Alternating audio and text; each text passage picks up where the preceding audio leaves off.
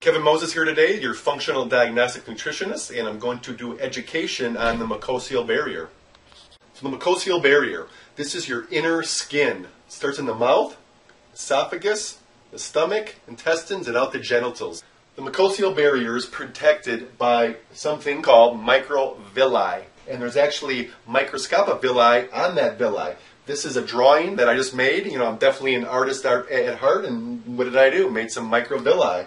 So what happens, these microvilli are your immune system, okay? They protect you from pathogens, yeast, bacteria. They are your support. They provide digestive enzymes to digest food, help you assimilate food and make nutrients and make your body full of energy.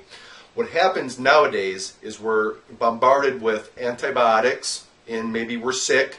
We're taking antibiotics maybe um, you know through food we're consuming, meats, eggs, dairy products these antibiotics actually really can atrophy these microvilli and they retreat. And say for instance now we have this there's little junctions that are open. Have you guys ever heard of leaky gut syndrome this is leaky gut syndrome. So what can happen if we eat some food?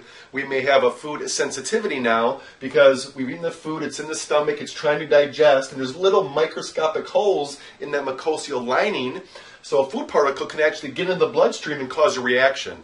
This is an example of a food sensitivity. So, I mean, it could be any kind of food. It could be eggs, apples, broccoli. It really doesn't matter. It's usually food that we consume a lot of if we have that um, weakening in the mucosal barrier. So what can happen? Weight gain, headaches, um, skin issues, acne, bloating. These are definitely signs that you may have a leaky gut syndrome. It's something you definitely should contact your functional diagnostic nutritionist about. Get some testing.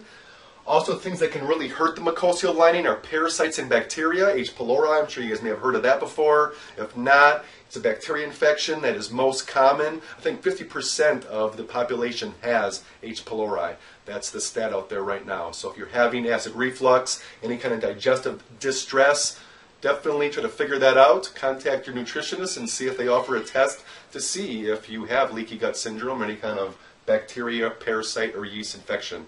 That's my little education today on the mucosal barrier. Hope that explained what that entails. Uh, thank you for visiting uh, Moses In Home Fitness.